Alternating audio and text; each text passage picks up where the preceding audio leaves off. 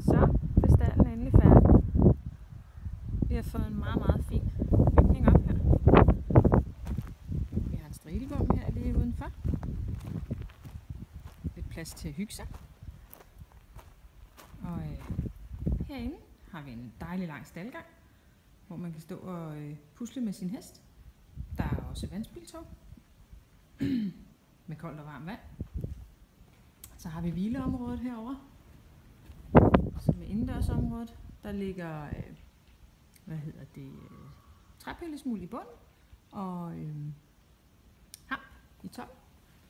Så har vi en lille introboks nede for enden. Ups.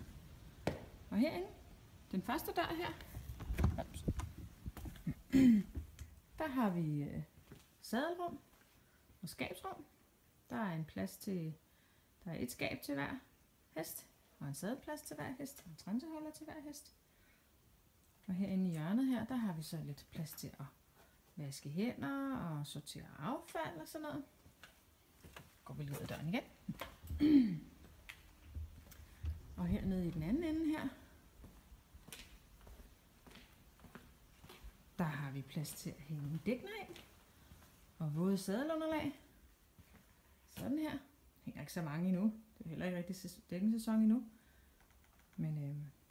Er plads til det hele. Det kan hænge og tørre. Begge rum her, der har vi øh, sådan en øh, varmeblæser her, som også kan affugte.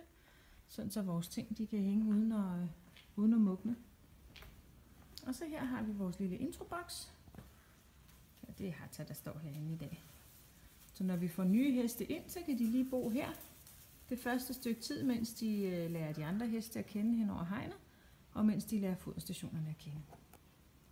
Så det var indendørs i starten. Tak for nu.